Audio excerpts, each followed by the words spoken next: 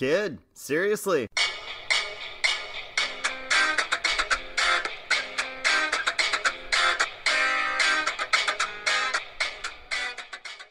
Welcome to the legendary final return of the Star Wars in Review podcast. Now, as season one draws to a close, we are the only podcast that asks you to name the system.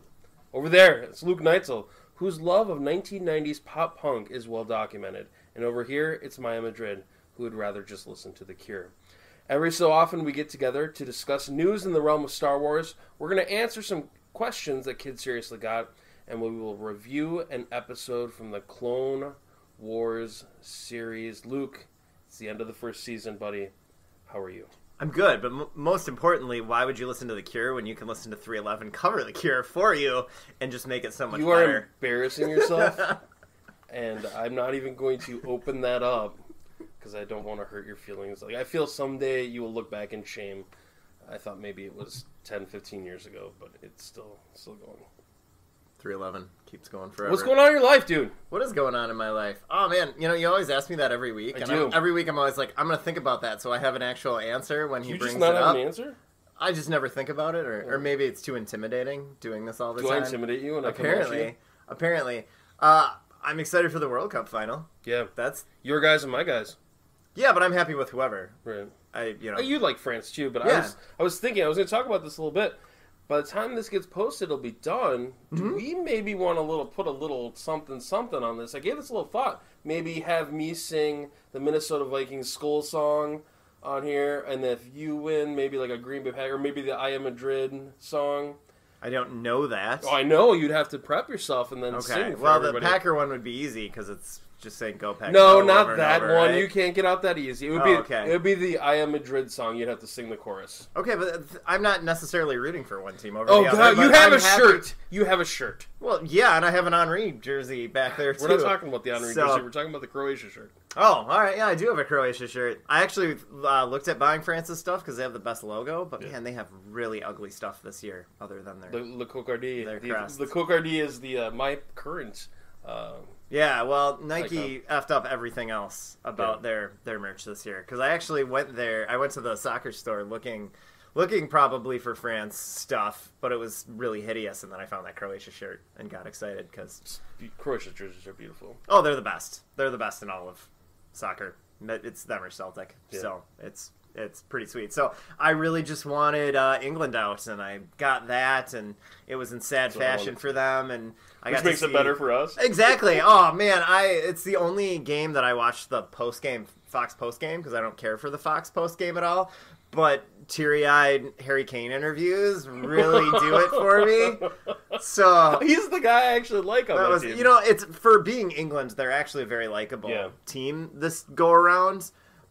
We but- still have hate in our heart for John Terry's and Frank Lampard's of the world. Yeah, yeah, and you know, I mean, put Welbeck in, they would have been fine, but you know, they didn't want to use him, so use you get what you deserve. Stick with Harry Kane, I guess.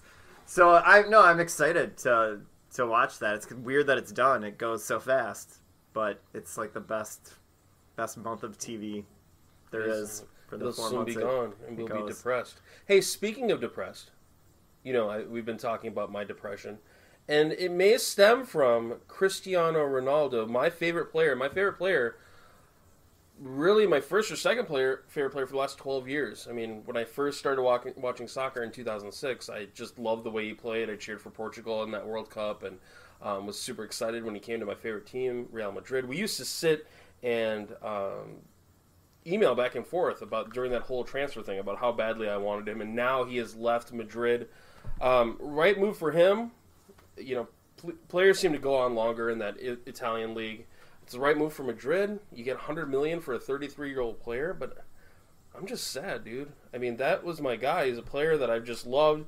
Came over in the in the summer of 2008. I actually went to Madrid and I asked all the people, like the icebreaker of uh, Spanish people, was "Donde está Cristiano Ronaldo?" Because he was supposed to come that summer, if you remember, and then didn't come until the next one. And I've been thinking about that a lot. Um, Jed, friend of the show, we, he and I and you have talked a lot about Cristiano, and it's you know after four Champions League titles, two La Liga titles, two Copa del Rey titles, it's it's just sad.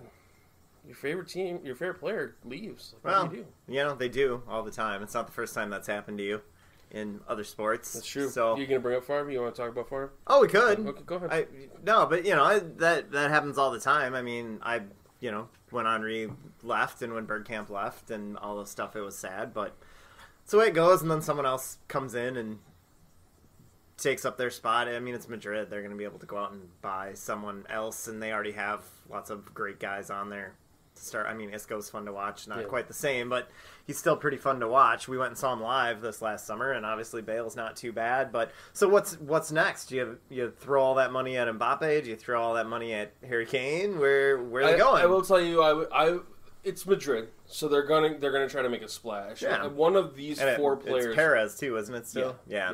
So, um, and he hasn't spent anything in three years. Oh wow. It's I mean he spent a little bit, but not like the big. Not sum. Madrid He's- spending. right? So one of these four players I would be happy with: Harry Kane, um, Mbappe, Neymar, or Eden Hazard. Okay. One of those. Well, four I'm gonna hope for Hazard or Kane just to get them away from Arsenal. Sure. No, that makes sense. Um, the other, I would I would be fine with uh, uh, Robert Lewandowski. Um, How old is he now? he's like 30 or 29, 30. okay. Um, He just looks older. yeah, but I mean, I would like like a real a real striker. If you look, he Cristiano Ronaldo shot between I think seven and eight times a game, and the next closest guy was Bale, who shot about half that much, and Bale was coming off the bench. So there's not a lot of shooting that comes other places from the field. So you need you need somebody who's going to put the ball in the back of the net. Maybe that means Hazard's not the guy. Uh, maybe that means Mbappe is, is the best or Lewandowski is the best fit. Um, I could really do without Karim Benzema. I really Yeah. don't like him as a human being from from everything that I've read about him. I don't So- think his value is going to get any higher Benzema, yeah, as far as selling either. Right. So So that's probably enough soccer talk for the viewers. Shall we uh, skip on over to the news? let's do it.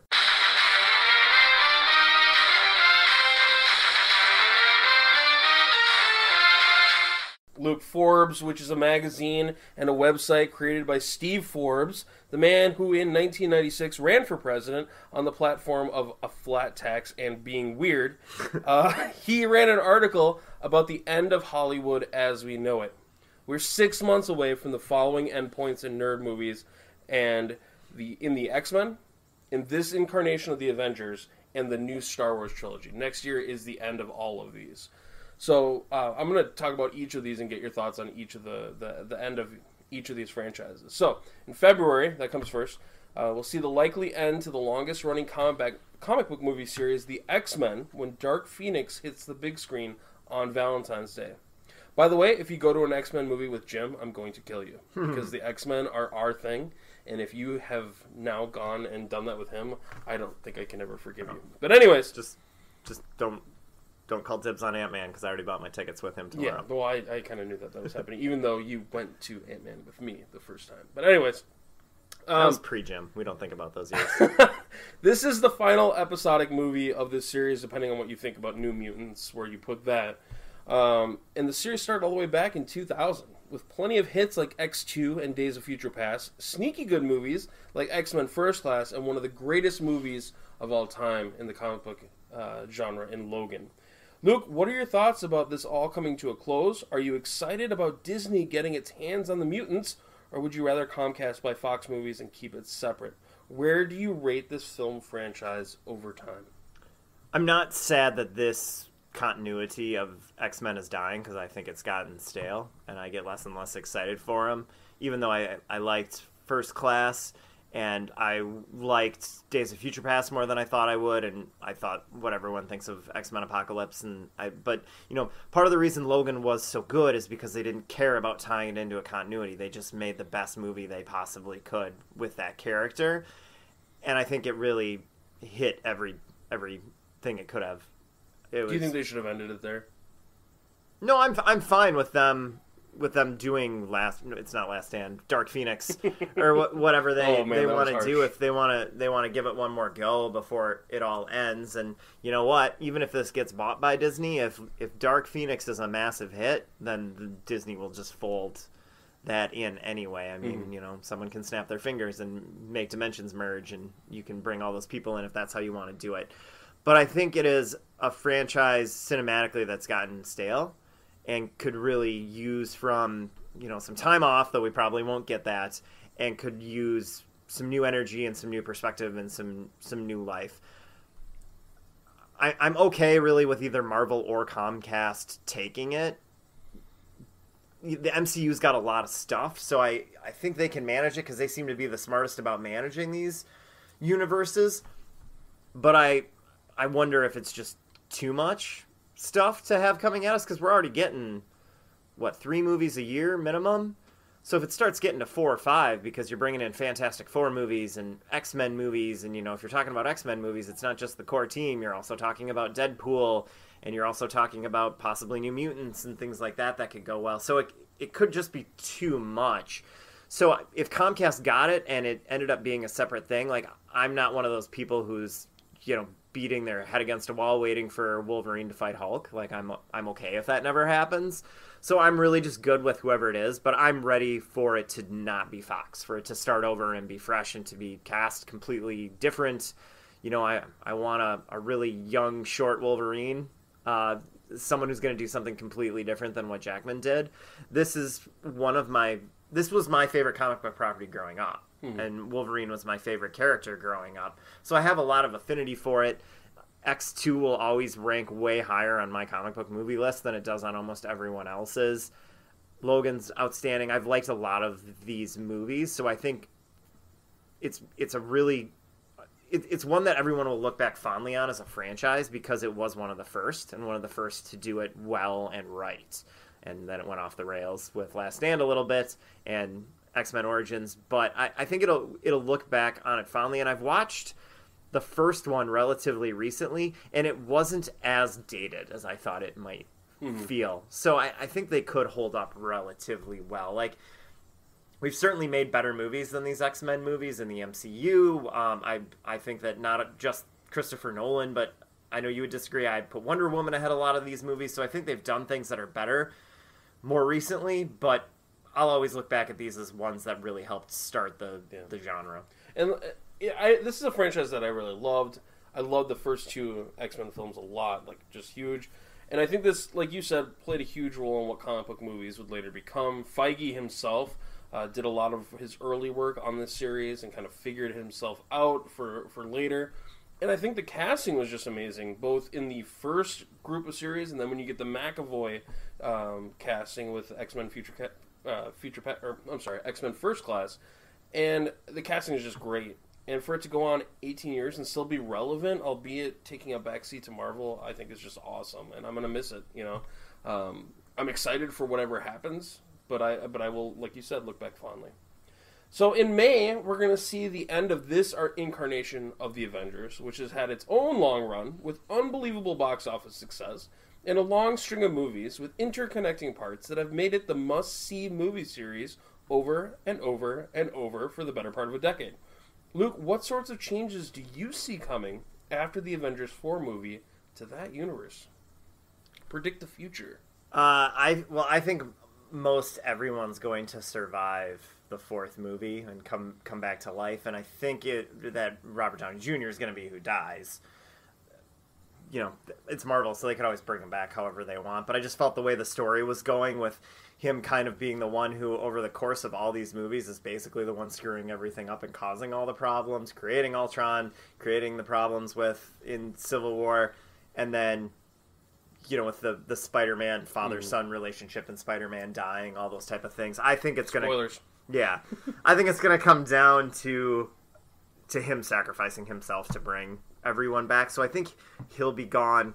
But I mean, they have so many characters. I think it's going to kind of seamlessly transition to you know I, I I get the impression that we could get more Thor movies based on how well that did and the fact that Chris Hemsworth doesn't have a ton of success outside of the MCU. So we could get more of those. I think they're going to be a strong push on Captain Marvel, Spider Man, Black Panther. Obviously, they were going to have to rely on heavily, and they seem to want to give a little bit more of a push to to Doctor Strange. So you're still going to get a bunch of big name characters. I was trying to think in my head, villain wise, where you go from this after Thanos. Like, what's the big Avengers villain that's going to follow this? I mean, if they do acquire Fox, you would have Galactus. Galactus and Doom. But do you want to? Doom would be the best one, I guess I would think, because Galactus is a cool thing, but I don't know how well that translates, and I don't know if I want another big bad space Mhm. monster type guy, because that's what we've been building with with Thanos for so long. So so Doom would be the best one. But if they lose out to Comcast, which I don't think is going to happen, I mean, where who who's the villain that you're building around? It's a great question. I mean, what what would you do? Um, I, I my hope is that they do a smaller story.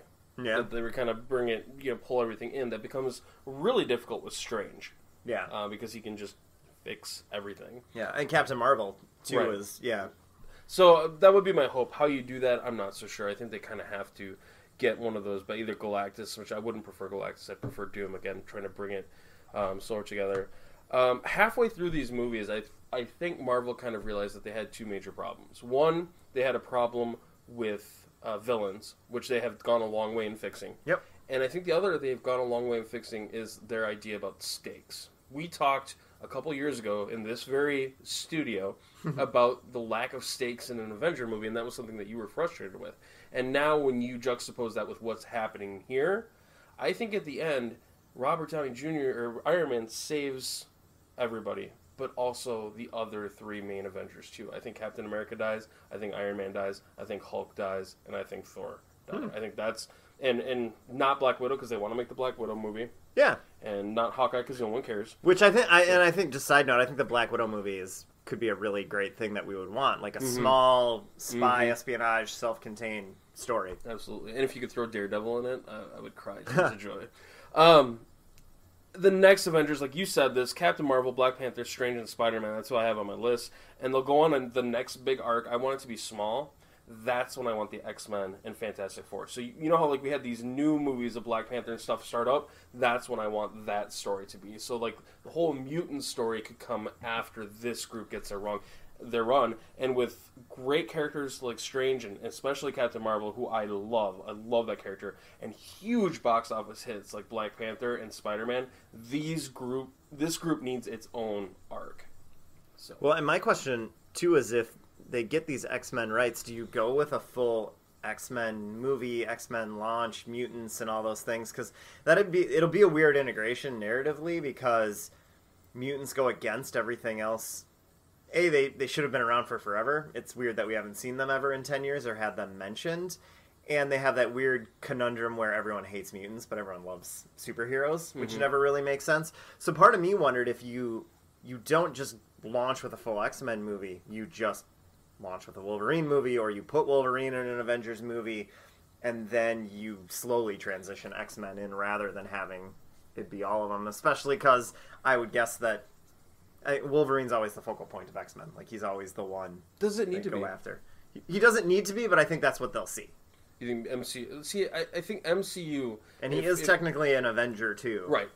But if if you look at one thing from the from the MCU is they took lesser known characters and made like, Iron Man didn't mean shit when we were kids. But that was who they had the rights to. Right. That's why. But I'm saying like you can as long as you write a good story, it doesn't matter with the characters. And I would start with the original five X Men, and I would tell a story there, and then bring in that second group with Colossus and Storm, and like I would do it because the fanboys are gonna love it, and I think there's enough there to give characters like Scott Summers and Jean Grey and um, you know Iceman and Beast their their own story, and then kind of work off of that. There's no way they're gonna sit on Wolverine. You're There's probably no right. way. You're probably right. Well, you could do them separate and bring them in. Yeah, later, that's true. You know, so that you're getting you're getting kind of both of that. Um, really, this all just a countdown for Fantastic Four for me. You know, I love the four. So, finally, Star Wars Episode Nine: Return of the Deposit will hit theaters at the end of the year. I want to take a look and map out the next phase of how it's going to go and predict what's going to happen from a macro scale. First question: How long until we get another movie after 2019? So, what's the next episodic film? Okay. How long so- until Rian? Jo- I mean, assuming Rian Johnson's the next episodic group. I mean, Oh, okay. So not not the Not Star Wars saga or- or, what? Not or not the Skywalker saga. Right. Ep- so not episode ten. well, it, wa- is Because I'm assuming Rian Johnson's is not episode ten. Okay. It's its own. It'll be its own trilogy of things unrelated. then then episode ten. How long? Well, I guess we'll answer them both. How how far until do we predict that Rian Johnson's? But also, how long for episode ten? I'm I'm gonna go. What's gonna sound a little nuts, but I'm gonna say we go seven to ten years before episode ten, after it. I, don't think that sounds crazy. I think that sounds smart. I think they're going to let Rian Johnson do his thing. They're going to let Benioff and Weiss do their thing. They're going to let those fill up the slots, and then they will revisit it further further down the road when you get episode 10. That's also kind of my hope Mm-hmm. as well because I'm in the camp of I don't want 3 a year. I want 1 a year if that. So that that's what I'll guess is we're looking at 7 maybe 10 years. Okay. Um, for Johnson's, you said go back. I think I missed uh, like. Oh, so I think Johnson's trilogy will probably start in 2019, 2020. And then um, you'll have Benioff and Weiss. I, I'm assuming both are probably getting trilogies. They haven't said how many movies Right. Benioff and Weiss are doing, but I mean, if that's six movies plus you have an Obi Wan movie and possibly the Boba Fett James Mangold thing, I mean, that's eight movies. So that's eight years right there if you do mm-hmm. them one a year. So I, I'm going to say what it's 2000. The next one will be out in 2019 episode nine is yeah. episode nine. So I'll say I'll say 2029. No, I think that's I, th- I think that would be a wise way to do it. I also like the idea of if we just kept those two standalone movies, if you just went Obi Wan and just went Boba Fett, you could elongate the time period between the second and the third to sort of finish it off. You know, get two years in there. Um, I think that would be wise, but we'll have to see. Do you think Benioff, Benioff and Weiss movies will be interconnected with the Rian Johnson movies, or do you think they're going to be completely separate from each other and tell two different stories? I think they're going to be completely separate and probably completely separate time frames. Okay. I don't know if you know, a lot of speculation just because Game of Thrones is a hmm. medieval type thing that they're doing Knights of the Old Republic, which I would be completely for, but that's not confirmed or anything. So I would be interested, or I would think that they're gonna they're just gonna have them be not connected, not have them all work together, have it be their own things and their own separate time periods. And I I wouldn't also mind seeing because I my assumption is that Rian Johnson's is probably set around Last Jedi time, but just in a completely different area, hmm. unrelated to what's going on in Last Jedi. If I was picking for Benioff and Weiss, I'd either do, you know, Knights of the Old Republic, which I would probably lean towards just because it's a completely completely blank canvas right now. But if they're gonna stay in, in the kind of existing timeline, then do a post a post Jedi pre Force Awakens story, uh, which would have its own complications because obviously You're gonna want Luke and Leia. Luke and Leia, yeah. So it, it would have to be kind of side characters of that as well, because you're obviously not going to get Luke and Leia unless you you can't you can't recast. I wouldn't think at this stage. Um, but what I what I'm what I don't necessarily need, and I assume Benioff and Weiss aren't doing, is filling in the holes in the original trilogy, like time period holes. Yeah, I like I don't I don't want any of that. So I think Rogue One was enough for me. Solo was enough for me. Try and find a different era. What I would like, and I, th- I think I've said this on the show before, is for them to happen concurrently in the same time period, but have Benioff and Weiss deal with more of the political aspects of what's going on throughout the galaxy, and then Rian Johnson to get real weird with the Force, like out in, uh, in the in the outer uh, reaches of space, past the outer rim, um, so that they're somewhat connected, and you could have that sort of like call outs a couple times in the movies, but that they don't need to necessarily affect each other. Like I think it would be awesome if you had like a team of Jedi's who had to like go out and explore outer like the outer reaches Yeah. or something like that like i think because then he would have so much freedom um, which i think is gonna be how like rian johnson takes his successes in the last jedi and builds on those to um, to get pretty much everybody to like it Yeah, yeah. Say you had a bunch, you had like a group of Jedi that escaped Darth Vader's purge of the Jedi, and they are just so far out in deep space. And at this stage, they've passed away because they're old, but they have kids and whatever that are force sensitive and but don't know how to use it. You know, something like that. I think would be could be really fun. yeah and you could use some of the characters from rebels and you know and ahsoka Yeah. and stuff or like you know have shout outs to them that like nerds like us would love and Yeah, stuff you know, like background Jedi in the original trilogy or in the prequel trilogies that you could pull out of. Yeah, I think they could do a lot of fun stuff with that. My last question when it comes to this is how. f- Oh, we already talked about the forward, the time jump, um, as far as when we would see potentially in episode ten. But how far in the story do you think that would be? And do you think Rey, Poe, Finn, or Kylo Ren will be in that episode ten years down the road? At least some of them will be for sure. I think. I think it'll it'll be. You know, if you think about that, think about our kids who like going to these movies now, and they're you know seven, eight, you know six, seven, eight. So they'll be in their teenage years, so they'll be hitting the the nostalgia of seeing the characters they they liked as little kids coming back. And I do think it is nice to you know I'm the guy who's always harping on doing new things, but I still want it to be connected. I mm-hmm. just don't want to see the same plot points Right. revisited. So I, I think you'll you'll at least have some of them, and you know if Anthony Daniels is still alive, Lord knows he'll be begging to be on that set and be in there. So we'll at least get that. I think you cut his his words like South Park cut chefs Oh. uh, dialogue. That'd be amazing. just, just splice it together. Because he's heavens knows he's got enough tape out there. Yeah. Well, it's time for the segment where Luke uses his First Amendment rights to talk about feelings, and because we are red blooded Americans, we will immediately reward him or mock him. Sponsored by David Byrne, it's Am I Right or Am I Wrong? Luke, last week you were a one- runaway victor, hitting all of your first four questions before the inevitable coasting made the score seem closer than it should have been. Nevertheless, you're up for three in a row. Can you tell us about your preparation this week and how it changes when you're in the middle of a streak like this? Oh, you know, I just keep my head focused, one pace at a time, blah, blah, blah, a lot more push ups, you know, make sure I, I stick to lean proteins. Good. So you feel focused tonight? Yeah. Ready to I'm go? Early on, going for three in a row. All right, here we go. Seven questions. You must get four. Number one Kevin Smith, hero to Maya Madrid and the world, laid out a shocking idea that was downright terrible this week when he encouraged J.J. Abrams to bring back Han Solo. And if he did, Smith said he would kiss the director.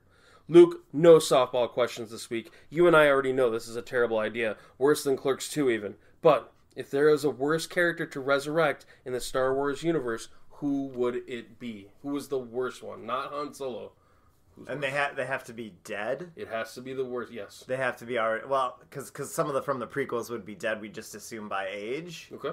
or whatnot. Because I mean, uh, the worst character in the whole thing is Jar Jar. That would be who I would least want to have be a focal point of anything. So I can't technically say he's dead or whatever because I don't know how long a fish person lives on Naboo. But you're not gonna find a character that's gonna aggravate me more than him if they were to bring in. That was a, an excellent cut, but unfortunately it had a just foul because I would say that that's the second most. The number one is right in front of your face. It's Luke Skywalker. It would be equally as bad narratively, but would be completely eradicate the Last Jedi, which would make my Twitter feed even more annoying than it is right now. Between the trolls who start petitions to get the Last Jedi removed from canon on one side, and the Reylo fanatics on the other, I finally agree with Kylo Ren. Let the past die. Don't bring back Luke Skywalker. Well, but he'll be back as a ghost. I guarantee you he'll be back in episode nine. Do we want to make a bet on that? I Yeah. don't think he's going to. I think he's right, let's going make a to. bet. Okay. We're gonna bet. We'll, we'll talk about the terms. We'll come back next week Okay. for the for the brand new Okay, season just- two just- review. Remember who's directing before you make the stakes too high. Oh, ooh, that was a that was a low blow. It's not a low blow, but it's it's I think you're. I, does. I think you're mad because you started off 0 for one. Then we go to number two. Bullshit question. Luke. yeah, calls him as a season. Number two, Solo, a Star Wars story, has a rumored DVD release of September 25th. We know that you won't buy this movie because you said so, and you are mostly a man of your word. The bigger question is, however, will you- humble. will you ever watch this movie again? Yes or no? I'm sure I will at some points. You know, if my son wants it, we we will get it and check it out, or it'll be on it'll be on HBO or something like that, and I'll throw it on. I mean, Last Jedi's on Netflix now, so if it came to Netflix, I'm sure I would throw it on once. So I guarantee you, I will see it at least one more time, but I will not pay money for it for myself. Luke, I'm so sorry. This is actually you are not going to watch this movie again because this is how it's going to play out. You and I will have a bet about something in the distant future, and I will use this as my terms in a because I love this movie. I saw it three times in the theater. This, Man of Steel, Meet Joe Black, and The Force Awakens are like the the beautiful like four four movie three times in the theater. Anyways, you and I will use this as terms in a bet that I should win hands down. It will probably be something like Real Madrid versus Arsenal in the UEFA Super Cup. Nevertheless, I will still lose, and you will decide not to watch it as a point of emphasis for your entire life. I, I don't see the movie as a referendum on you. Not yet. I just thought it was fine. Not yet. Hey, uh, number three. Keri Russell is rumored to be cast in episode 9, and Twitter went crazy over whether or not she will end up being Rey's mother. Luke, call your shot. Will Keri Russell be Rey's mother? No, she won't. Explain. I I think they're gonna leave that where they left it in Last Jedi. I and I'm also hoping for that.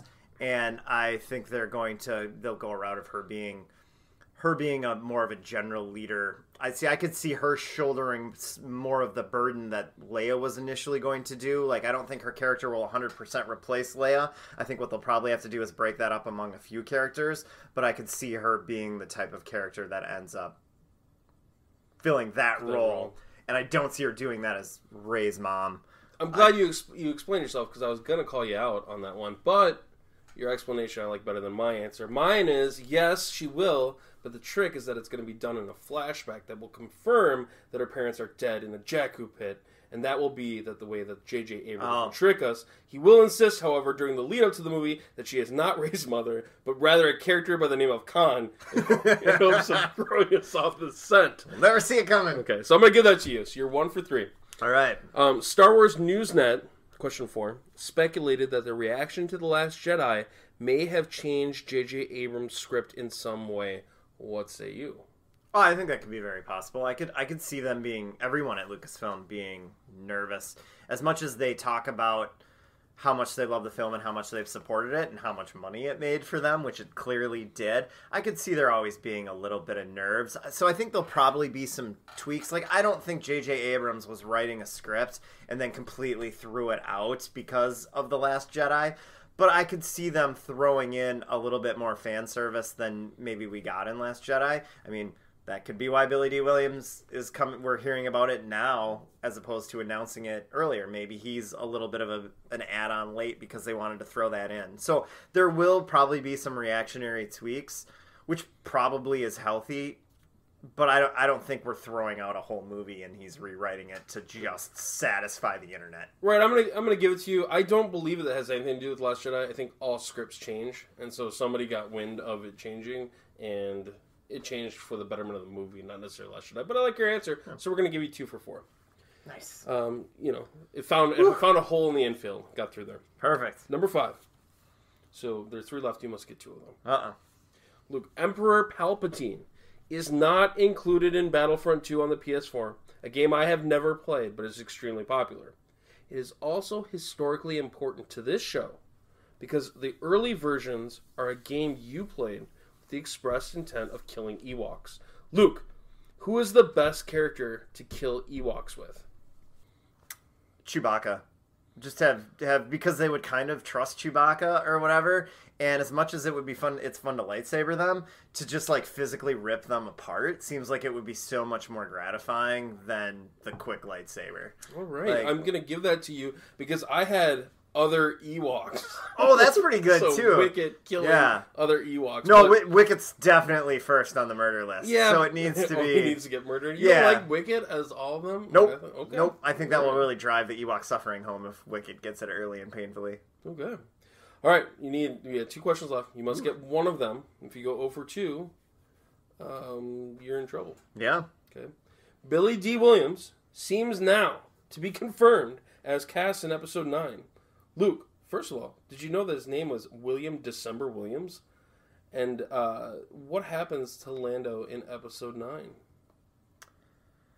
I don't think he's going to. I did know that actually about his name or whatever. I once on eBay uh, lost out on bidding on a Colt 45 Billy Dee Williams tin sign that I wanted to hang down here, but um, I, I didn't win it, which was one of my biggest life's disappointments. But I, I think I think what you're gonna see from him is is you know the the the Republic. They're not the Republic. The um, well, I suppose they are kind of the the, the Resistance is I mean when we leave Last Jedi it's down to like 20 30 people Mhm. and they need someone to you know that he's gonna be and you know Leia's gonna we're assuming Leia's gonna be dead when the movie starts or die quickly in the movie he's gonna be kind of the old hero that they've heard about that they try to to go to for for help. Not quite. It, it's going to be a smaller plot point though. Like the whole movie isn't going to be about finding Lando and having Lando lead. he just turns at the top of some mountain and then Yeah. throws a lightsaber over his shoulder and Exactly.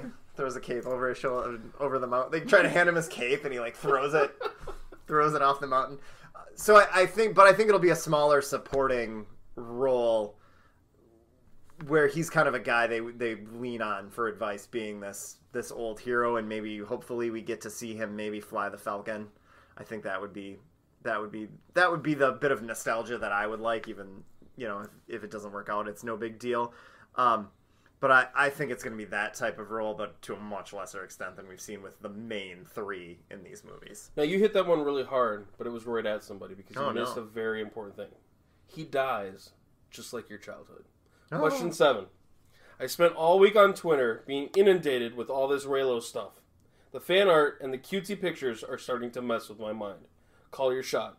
Is Rey ending up with Finn, Poe, Kylo Ren, or nobody? Oh my gosh, that's what I didn't even know what Reylo was. Oh God, it's so it's so apparently you I don't haven't follow the same people I follow. Yeah. No, apparently, well, I don't look at my Twitter Well, account. yeah, I think that might you be the problem. Yeah, this is why I've been. and I think I follow. I think I follow eleven people. Let me tell you, I, uh, I I follow lots of people within the Star Wars fandom, and the people on the both sides of these issues now are driving me crazy. Uh, like like there's the the the wholesome like people who just really love Kylo Ren and Reylo together, and like they they don't mean anything bad by it, and they draw pictures Sure. of them and stuff, and I just get like I just drive me crazy. And then you have the other idiots who are like putting together petitions and Yeah. then everything that everybody says Well, be like, "Whoa, why mean- Luke Skywalker do this?" Yeah. It's like, shut up, all of you. Please just stop. You know how Fifty Shades of Grey started, right? No. It was Twilight f- fan fiction. She was writing a Twilight Fan fiction and then realized people like so she turned it into Fifty Shades of Grey. So good luck to you people out there making your erotic Reylo fiction out there. Hopefully it, it turns into something. I think she's going to end up with none of them. And I think it's not, it's going to be a, she doesn't need any of them. She doesn't need to, to be, she doesn't need a guy to make her arc complete and her story complete. I think that's the mode we're, we're going to go for. Um, so she's she's going to end up alone, and she's going to be presented as a stronger character because of it. And it's yeah, her and Kylo Ren doesn't. I, I don't want Kylo Ren's redemption. I think part of the point of the Last Jedi is he was on that cliff, and he he he left off and said, "I'm not coming back." So if they redeemed him, I would be really disappointed. So that puts him off the table. Um, plus, sh- she's watched him do so much horrible shit that I don't think she can do it. And um, you know, the the Finn the Finn thing. I, I don't know. I just it just would seem it would seem to be making a relationship to put a relationship in a movie rather than it seems like that's anything coming naturally. I see their bo- I never saw their bond. I know he makes the flirty kind of like You got a you got a boyfriend? boyfriend, yeah, type type deal. But I see that more as uh, you know, very similar to his relationship with Poe, where you know they don't spend a lot of time together, but they went through something really really traumatic that people in war go through together and they have a bond now because of it. And he has that same thing with Rey so i don't see that as a romantic bond between them. I see it as more platonic. We've been through the worst possible you know war and battles we could and we really care about each other. So i, I think she's going to be she's she's not going to end up with any of them and it's not it's not going to be love story based like it's not going to be she misses out on some or she's going to be with Kylo Ren but he dies or you know blah blah it's just it's not going to be that she doesn't need that for her arc If any of them made sense to me, it would be Finn. Yeah If any of them. Yeah. But you're right. You get it. On the last shot, you get through, so you are four Woo! or seven. She's going to be a Jedi. Mm-hmm. And her rebuke of both Kylo Ren and Luke Skywalker and their family whininess will have her reestablish the Jedi Knights of old. And I don't mean the douchey, whiny ones of the Skywalker generation. What I mean, and I don't mean the ones of the prequels and the Clone Wars series who are super dicks. I mean the old ones that we haven't seen in the movies, the badasses and who do the right thing. She's gonna bring those back, and she doesn't need a dude. It says no. She's gonna reestablish the Jedi. this is my question about the Jedi Yeah. and their their attachment rule or whatever. Like they know for a fact that the Force is just a biological agent. Why wouldn't you be having all the Jedi's bang constantly Yeah, to make know. better I don't know. Jedi's? All the time. I don't know. They should have. The Empire should have fallen apart because they couldn't stop fucking enough in the temple to go out and stop Palpatine from taking over. That's how that should have happened. Oh my god. Well, on that note, we're gonna slide on. Congratulations. Slide, three, yeah. Three. Yeah, oh, just by the way. imagine walking into you know Yoda banning over Kit Fisto, trying to create the most powerful Jedi ever made. oh my god. Um, if you're out there and you want to contact the show after that, we would love to hear what you have to say. This is obviously the season finale. We're hoping it's it's it's a banging episode. Banging, Uh, no exactly. pun intended. Uh, we can be reached at kidseriouslyradio at gmail.com or you can send us a message at kidseriously at luke underscore neitzel or at Maya Madrid and you fire off a question for everyone's favorite segment. This is emails that kids seriously got. And by the way, it doesn't have to be an email. Luke Javier Perez from SoCal writes, You guys have been doing a lot of favorites lately with lightsaber colors and ships. Who are your guys' favorite droids? Oh, K two, so by far, yeah. C C three PO is annoying as fuck. I can't stand him. R two D two and BB eight are kind of cute, but their shtick gets kind of old. For me, I hated the one in Solo, um, and you know, I'm, we're not going to count Darth Vader as a droid, so yeah, I'll go with I'll go with K two. I think he was the right blend of of humor, but still seeming like he should be where he should be, and that he would be effective in what they were tasking him with. Like, there's no reason to send C3PO to all these places. Right. So, Yeah, I, I would agree with you. K2SO is the his relationship um, with Cassian is Yeah. I, I think is the best droid uh, human relationship that there is, and you know, I like I like R two D two. R two D two would probably be second. Really like BB eight.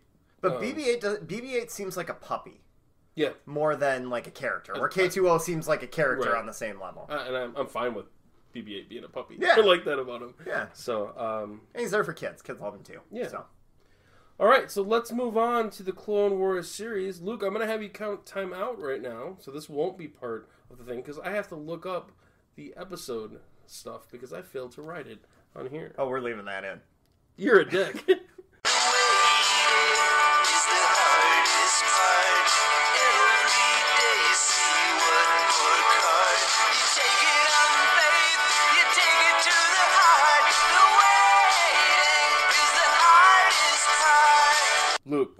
season finale, season one, episode 22, hostage crisis. A secret shared is a trust formed. I have no idea what that means.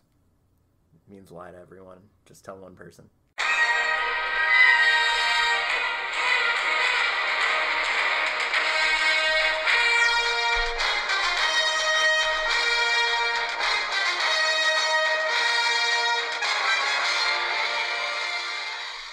Written by Eoghan Mahony and directed by Giancarlo Volpe, uh, this episode catalogs the attempts by Cad Bane to wreak havoc upon the Imperial or the uh, Alliance Senate, the Republic Senate, sorry, and to get uh, Ziro the Hutt out of prison. Luke, take it away.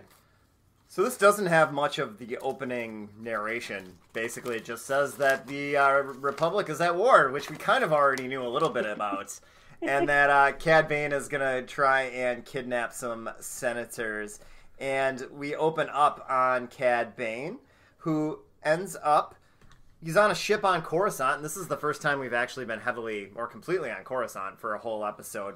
He is flying in with his little squad of bounty hunters, which includes some droids. Uh, it's not IG 88, but it's the same type of droid, as well as some other character designs that we're familiar with from the prequel movies. They are zooming in and are uh, basically, they land on the Senate building landing platform where they encounter some of the royal guards. Uh, they are able to take them out. Uh, Cad Bane has a, I mean, he's Clint Eastwood, basically. He's got a real Wild West appearance, uh, which I love. I think he's a great character design. I'm excited because I know he plays a, a bigger role throughout the course of the series. So it's good to, to get him in there. And he lands there with his little group. They have this kind of Wild West standoff. He's got his pistol holstered, and then he actually just has a sniper positioned in another building who ends up just taking out those guards. And speaking of that sniper, she is the same character type from a character in Phantom Menace. And that is something that struck me right away by this episode. Two things. One, the amount of visual callbacks without actually calling back. You talk about the IG-88. You talk about uh, Cad Bane himself. I think his his race is called the Duros, and that was there was one of him in um, the original A New Hope in the in the uh, cantina.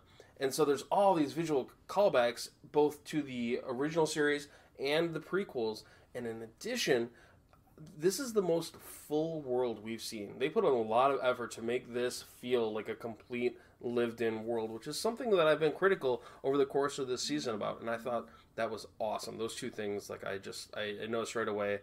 Um, you know, the landing platform looks like the same from the prequels, or like uh, just little bits like that, or like the the Imperial Senate Guard, those Yep. sorts of things. So um, I, I I really like this episode to begin with. Yeah, and it, it's it's you know it's Coruscant, so they they they were able to use designs that were already there for them, which is nice. And you are right. The nice thing about Coruscant is most of these planets we visited, they feel like there's one city of 200 people, and that's the whole planet. Where this feels like a, a just jam packed world full of completely different aliens, like you would think it would be. Now we cut across to Padme and Anakin, who are in her office in the Senate building. This is the first time we've seen them actually be presented as a married couple. Um, normally, you know, there's some some stolen glances and things like that, and him freaking out about her being captured constantly going on. But this is the first time they actually interact and talk as a, a couple. Uh, there's no one else around. Basically, he wants to. He's supposed to be on a meditation retreat or something, so he just wants to take a two week vacation with her somewhere else so they can be alone and forget about all this. But she doesn't really want to because she's trying to pass some bill on something that's important, and he actually gets kind of whiny is a, toddlerish. in classic Skywalker fashion. He's a just a whiny bastard, and Yeah. he's very manipulative Yeah. and just a super dick. Like if this, if I saw my friend do this to uh, his girl, like I would have words with him, be like, Yeah. stop, stop pushing her into something she doesn't want to And do, guilt tripping her Yeah, for it was doing- terrible. yeah, she's He's trying to do things for the every bad good. relationship that you witness in college is like happening right in front of us, which is the character. So I was okay with it. Yeah, no, it, it does fit. And what what's important about this interaction is that basically he makes some comments about, "I'm going to prove to you how much you mean to me. Here's my lightsaber," which Anakin. Did you notice me- he give it to her blade first? Yeah, I actually I have that you- written down right here. Gives lightsaber blade first, like he was pointing it at her. Uh, but he gives it to her to show how much he loves her. Is that foreshadowing, or is that like I didn't know, but I was like, that's brilliant either way. Yeah, Like, like, what a dick. Uh, yeah, just oof. Anyway, at least his hand wasn't on the trigger. But he gives uh he gives her his lightsaber, and then uh, we cut back to Bane's group who are going through the Senate building, and they have uh, another character design I liked, which I don't think he had a name, but he was basically a computer hacker. He was kind of this little short bubbly fish thing, fish man, who was able to hack into the power controls of the Senate building and shut everything down. So everyone is locked within their rooms. Uh, and right before this happened, Bail Organa, who's another character we haven't really seen from the prequels, shows up in Padme's thing and tells her she has to leave to go to some Senate meeting or whatever. And she leaves with Anakin's lightsaber because he's hiding under the desk and she doesn't have a way to get it back to him. Because obviously no one can know they're married. I don't know why they couldn't be in the same room together, But but she couldn't say, "Hold on, I'm gonna grab one thing and put the lightsaber down underneath Yeah. the desk." But yeah, whatever. Or just be like, "Hey, thanks for briefing me on this battle plan, Jedi." Right. Yeah, uh, but whatever. I mean, there's there's a lot of that in this episode and a lot of that in the show that you just have to kind of Right. forgive and look past because it's really not that big a deal.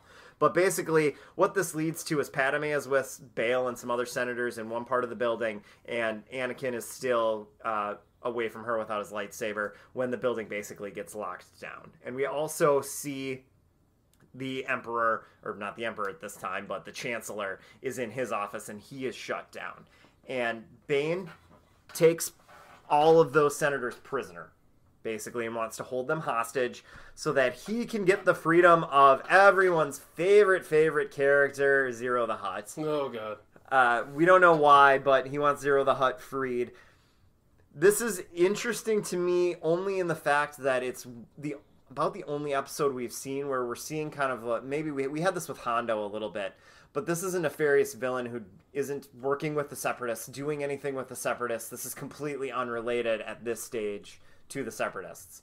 So it's it, it was slightly interesting because he is having lots of negotiations with Palpatine, and this is the first time Palpatine isn't on the side of everything that's going on. Like he's actually taken aback that someone did this and is willing to challenge him because he's in charge of both the separatists and the hmm. the republic. So I found that a little interesting, but they didn't really do much with it. So Anakin is end up ends up running through the the place without his lightsaber, and you know Jedi without his lightsaber. I mean, he might as well be a paraplegic, Right. you know, because they're completely worthless without him for some reason. But he gets into a fight with the IG-88 member of the group and is able to take it out. But the thing that the other members notice is that he doesn't have his lightsaber, so he'll he'll be easy to You to know capture. who does have his lightsaber at this point?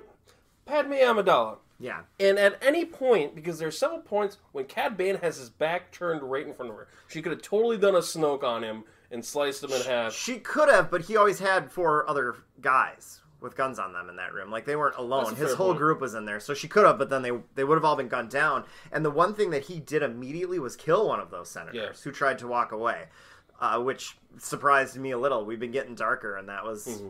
that was a blatant murder right in front of us. So I, I think that explains why she wouldn't do point, anything yeah. like that. That's fair. Um, they actually end up capturing Anakin. They actually shock him.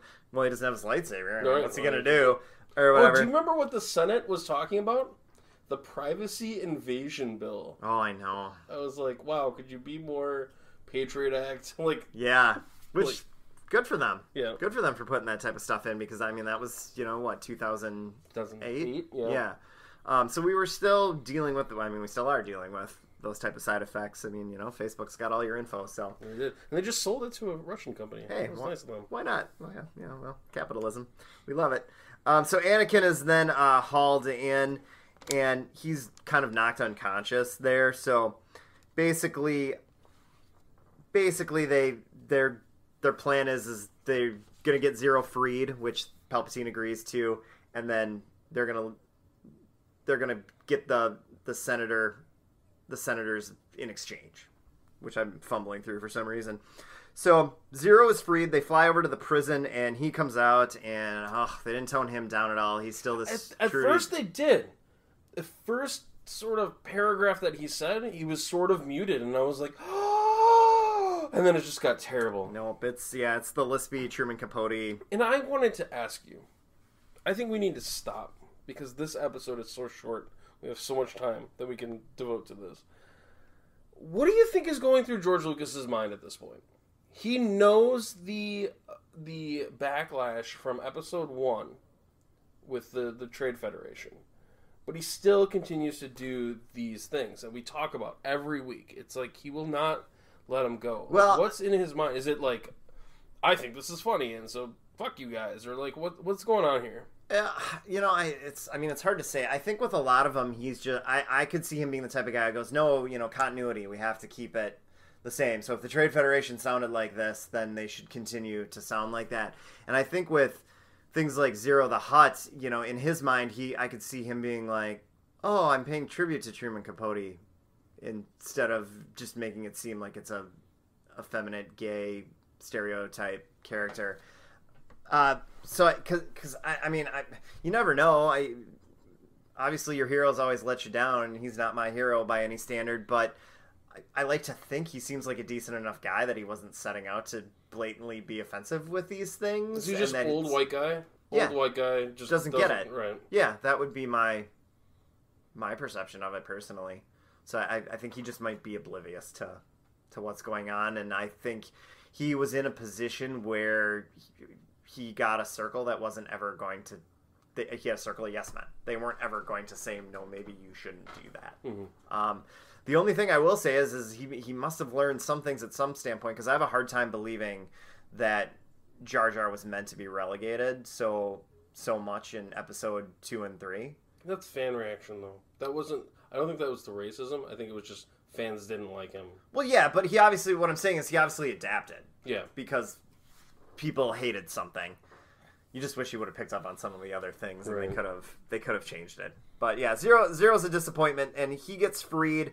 Basically, uh, Bane's plan then is he's going to uh, blow up all the senators. He has left, but he has a bunch of bombs in the room, and then he puts up a laser shield, which it seems like anyone could have stepped over Or under. or under to get out of. But they're trapped by these lasers, and there's bombs in the room. I have great news though. Do you know who has the lightsaber now? Oh my gosh, who? It's Anakin. That's right, because he's woken up and Right. Padme gave it back, which I'm, I'm guessing must be the shared secret that we got in Blue Writing, because that's really relevant to this.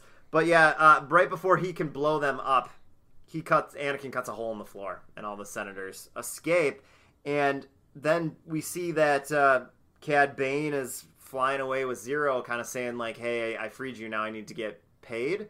And that's it. And I was a little dumbfounded when it actually ended because it didn't really seem like an ending. This whole episode to me felt like an opening crawl to a real episode. So maybe that was the plot is to try to set up set up what's going to happen in episode or in season 2 of this series of maybe having more of a clear direction of story-wise of where they're going, but it, it's not like it ended on a cliffhanger by any stretch of the imagination. The whole thing just felt kind of like weird setup. Yeah, it was weird setup. I, I think looking back as to how this series unfolded, where the episodes were aired out of the creation dates, and there was a lot of confusion and stuff like that. It is them sort of saying, at least I took it as them sort of writing the ship to now. You know, everybody Sure. I've talked to who's watched the series says it gets really good with two, and I think this is the reason why. Where they're able to write themselves and point in that direction, so I think that's what they were doing there. How many uh, how many pews are you gonna give this, buddy? Uh, you know, I'm gonna. Th- I, I struggle with it. I'm probably. I'm gonna give it two. So there's good. There's good in this. I like Cad Bane a lot. I like that it just dove into the action. It it just went for it. In in theory, I like that they showed Padme and Anakin as an actual couple for the first time.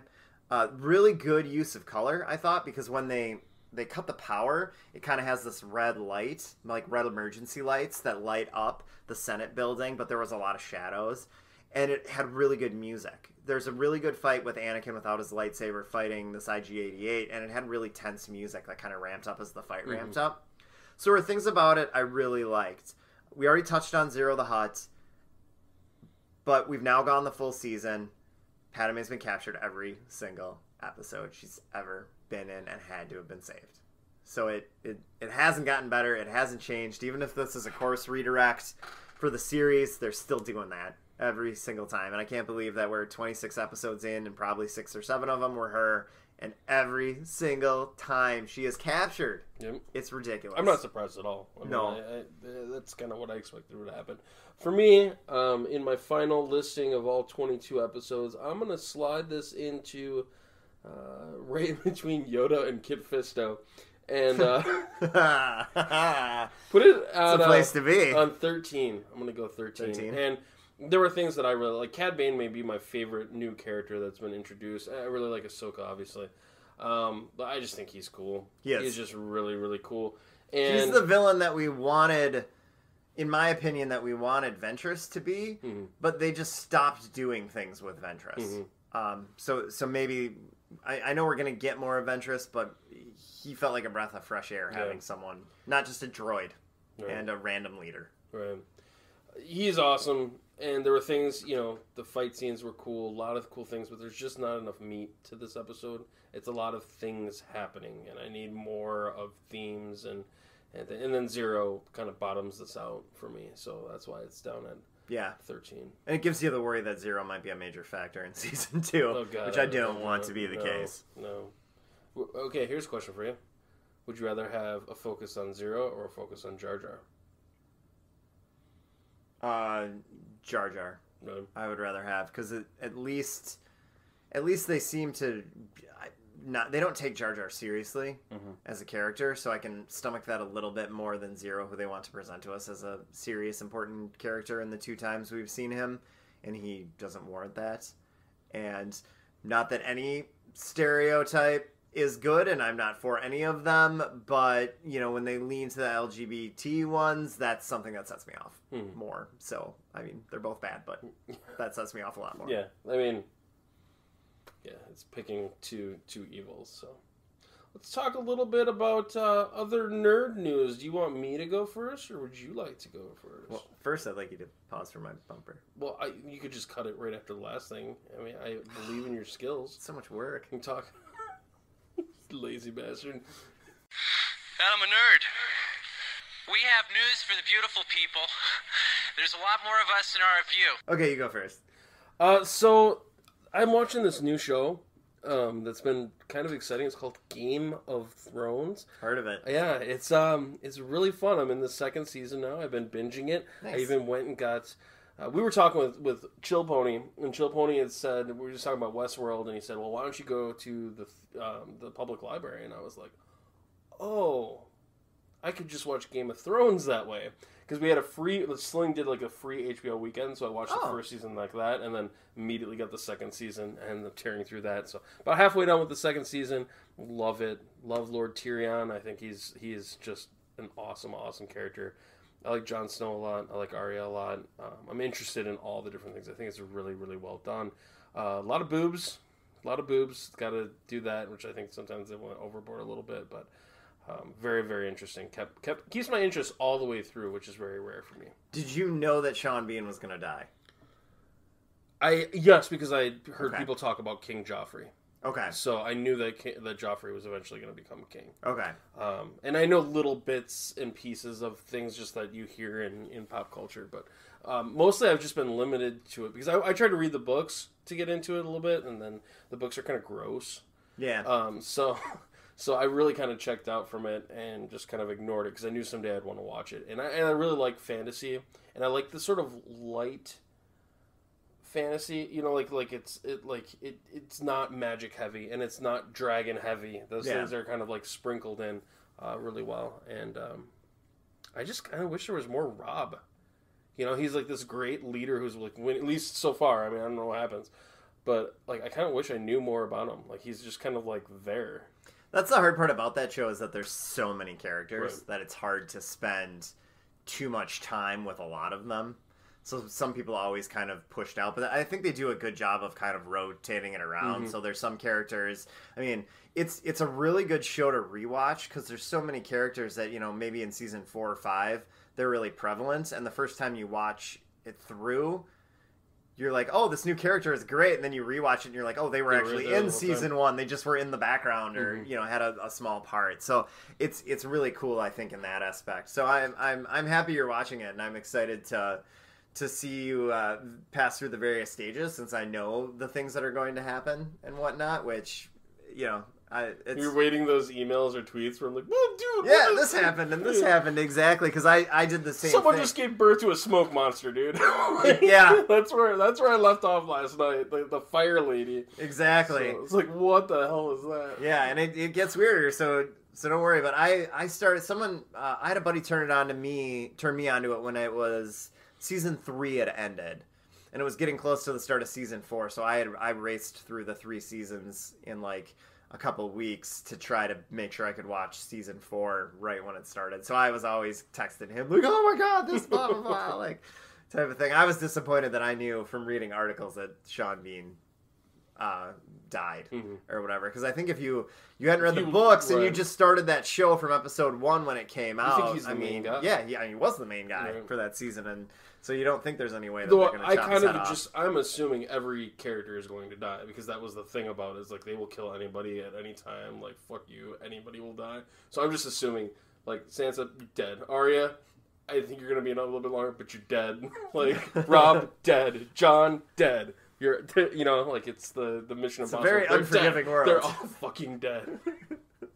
what about you, man? Nerd news. Well, since I always talk about HBO and you're talking about HBO, they debuted a new limited series with uh, Amy Adams Mm-hmm. called Sharp Objects. So the first episode of that came out, and it's it's very moody. It's very slow burn. She's a, a reporter, kind of a, a stretch? She's never done that. Oh wait. yeah, but it's very, very different. Trust me. She is a, a alcoholic, you know, down on her luck in St. Louis reporter who is basically forced by her editor to return to the small town she grew up in to report on um, some girls that have gone missing, and you know she has a, a messed up family life and a messed up past. We don't know entirely what that is, but we have some ideas based on the first episode of what it is. It's very grim. It, it atmospherically it reminds me a lot of uh, True Detective. I was gonna say that. That's what you So- were saying. Like, kind of hopped in my mind that first season of True Detective, which may be the greatest season of anything ever. It is for me. The, that for, that first season of True Detective is my favorite, my favorite movie, TV show, any of that. I could have listened time. to Matthew McConaughey sitting in that police station, just talking about like the circles and, and stuff like that Oh, for yeah. my entire life. Like I could just listen to him. And it, you know, and and if you think too, at that time period, I mean, that was him when he was washed up, come as an actor, Mhm. and True Detective and Dallas Buyers Club and Mud were the the start of him becoming a major force again. So, so going into that, I was I was like, oh, that looks really good, but oh, Matthew McConaughey, like that's gonna be terrible, and I still think he's pretty bad in a lot of things, but um, man, he. He'll never do better than he Mhm. did in that. Like he was I don't know if many people He will ever do better than he was in that. yeah, he, he was exceptional, and Woody Harrelson is a, a great great foil for him. So, but yeah, so Sharp Sharp Objects was really cool. I finished Luke Cage, and I really want you to watch it because I was a that- Dude, do you know how much work that is? That's like when my wife is like, "Here, read all of the Harry Potter books." You you won't, but I don't know anyone else that I don't, I don't know anyone else that will. Maybe I'll ask Jim to do it. Oh But- Uh, the the way it ends, I did not see coming at all, and I think it could set up some really awesome things in a in season three. But it was uh, it was it was completely never. I didn't see that coming at all, type deal, and I, I, I have just, to say, will like, you just tell me because I'm not gonna sit through because I feel like I'd have to watch Iron Fist and I don't want to do that, and I'd have to go rewatch. you don't have to see Iron Fist. I'd You have would, to rewatch the have end to of Iron watch- Fist. you would have to watch the recap of season one, because they don't talk about anything that happens in Iron Fist. In Luke Cage, or I mean, there's the only and the only thing you really need to know from the Defenders is that Misty Knight lost her arm. I saw But- Defenders. Oh, okay. It yeah. has Dare, Daredevil's like one of my favorite characters. Oh, okay. But and I and I really liked Luke Cage and I liked the first half of this the first season. But then I got distracted by Se- second something. second half is boring No, okay. of the first season. I was, That's what people have said, Yeah. and so I'm not excited So- to slog through 13 See, hours of well, no, material it's- just to have a conversation with you. Yeah, but this one, this one I never got bored with this season. So I would recommend people um, that you you if you haven't seen the first season of Luke Cage, watch the recap. You'll get get all you need to know, and then watch this season because I I thought it was a lot more entertaining. And um, Alfre Woodard, man, she won't get nominated for anything for it because I don't think it's a property that'll get taken seriously enough. Misty But? No, no, Oh, Alfre Woodard is um, Black Mariah Okay. in it. And Misty Knight is awesome in it too. I'd be fine if they had just a Misty Knight show, which I think I said last week. Mike Colter's great casting, um, but Alfre Woodard is is just ridiculous Mhm. how captivating she is in that. Um, and so, spoiler alert for anyone who hasn't seen the end of Luke Cage, but how it ends basically is is is uh, Alfre Woodard dies, but basically manipulates Luke Cage into being her successor. So it, it basically ends with him basically as Cottonmouth. Oh, wow. You know, running that club, kicking out Rosario Dawson. You know, thinking he's going to be the the protector of Harlem, but really he's just becoming the the kind of ruler of Harlem. They even do because he's got his little buddy in the barber shop who keeps talking about um, the Godfather and stuff, and, and talking about how you know Luke Cage is going down that path or whatever. And then they actually do the last shot in the Godfather, if you're familiar, which is Saw it a long time ago. it's so- Michael Michael Corleone who goes through the journey of not wanting to do Mhm. anything with it, and then to the movie ends with him taking charge of the family. And the the final shot of that movie is Him sitting at the desk, isn't him it? sitting at the desk and people kissing his ring and doing all those things, and his wife Diane Keaton, who doesn't want any part of that life, Kay is sitting out there watching, and a guy just kind of comes up and shuts the door in front of her. And they do the same thing with Luke Cage and Misty Knight, where she's she comes to the club to be like, "Why are you doing this? Like, if you you know, if if you get on this road, I'm gonna have to stop you." And he's like, "No, I'm doing the right thing." And then they kind of push her out of the room because he has some people coming to visit him who are the other mob bosses, and they just show her and shut the door, just just like in, in Godfather. So really it was cool. yeah. So they they really took that character and and went somewhere with it, and I think it's cool that they're willing to deviate. Well, I don't know if it's a deviation because I haven't read it, but you know they're willing to take a risk on a character by Mhm.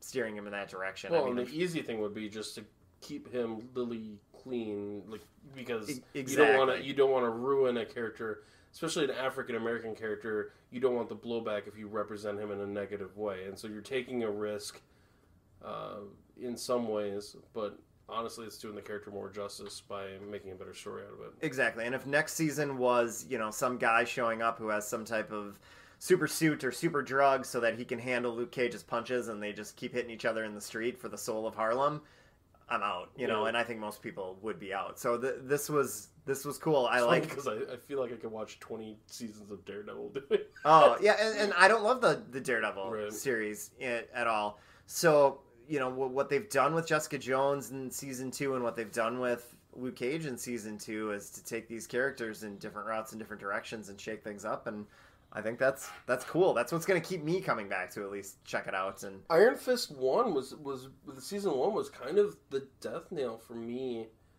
in the Marvel, at least being a completist with the Marvel TV shows, uh, or the Marvel Netflix shows, I should say. I never cared about Shield, but halfway through that, I kind of got bored. Then I watched Defenders. I was afraid of the end of Iron Fist. Or, I'm sorry, the, the end of Luke Cage. I was afraid of watching Iron Fist. Watched Defenders and enjoyed it, but I haven't watched anything else aside from Defenders. Yeah, and I Oh don't my think God, you I- need to. I I think you've gotten to the point where most of these series are self-contained now. Yeah. It's like they'll make mentions and references to things that happened, but there's nothing in Luke Cage. Even Iron Fist, even in it for an episode, and there is nothing you need to know about his series to make that episode make sense. How is he in uh, Game of Thrones as Loras?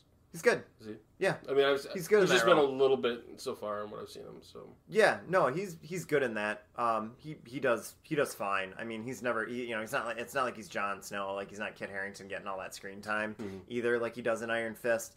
I I don't think he's a phenomenal actor. I don't think he's doing anything to elevate the material, but the writing he's given on Iron Fist is horrific. So I, I don't know who would make that stuff sound good. It mhm. was just a, a poorly written, poorly executed show. well, it's Ike Perlmutter is no Kevin Feige. Yeah. I said it. I said it, Ike. Well, controversial. Right. Most people just love Ike I'm gonna take a Perlmutter so much more. It is Inhumans Hey, show. speaking of taking a stand, I'm going to take a stand and end this episode, the season finale. Is this our longest show? Uh, it's probably. I think we had. I think we might have done one that was about this long. Maybe doing the solo review might have been this long, but this is this is our jumbo-sized season finale for us. Right. It's our season finale as well as Clone Wars season one. We're not going to take any time off We're not or taking whatever, time off. Why? We're going to keep on, keep it on. There are going to be some changes coming up next week that we've been holding off um, until the end of the season. So we're going to come back better than ever next week for Luke Neitzel. I am Maya Madrid. We are Kids Seriously, and we're out of here. bye.